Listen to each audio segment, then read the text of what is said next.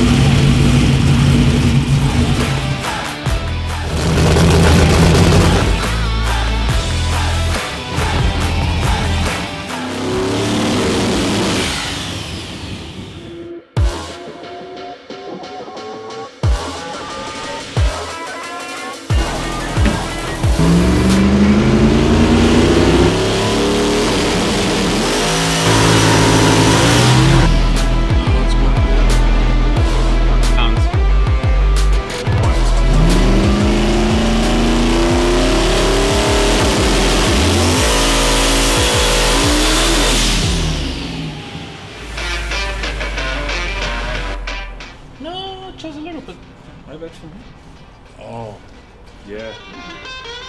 What'd you do that for? You do that shit? What? Is this you? Is this your work? Uh, I don't. I don't. I don't recall at least. I'm done with this.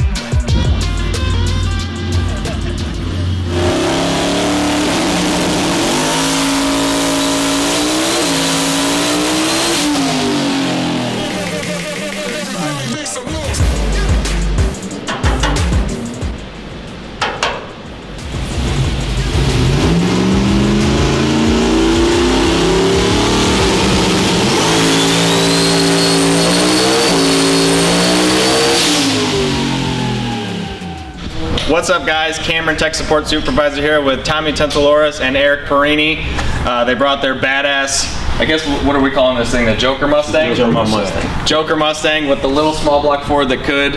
Um, definitely exceeded some expectations today. Yep. Uh, had a really good time on the dyno. You guys were scrambling to get here Oh, just so you could make a race, and that's, I mean, that's what we do as racers. We put ourselves through all kinds of craziness just to go have fun for a couple days. Um, why don't you go ahead and tell us how it went today? And you guys definitely exceeded our expectations. We got in here. Um, I had a few things that I needed to get done. Uh, throttle cable, had some leaks here and there. I was scrambling to try to make some testing for Ducks race this next week. Um, uh, just top-notch service from everybody on this facility. Uh, guys over at Proline helped me out with anything I needed. Um, you know, the, the tune, everything was spot on. It's just been a blast today. Well, that's one of the benefits of, of you know kind of being across the street from Proline. They have all the, the mechanical parts and things that you Oh, could yeah. ever need, and then obviously everything on the electronic side. That's what we do. So we have everything here in case anything happens to any any, any of your electronics, or if you wanted to even you know purchase other things to put on your car to uh, make your program better. We always have that stuff uh, on hand here. Um, so you guys are planning to race this in um, X275, right? Correct. Yep. Yep. So X275, it's an 88 millimeter turbo.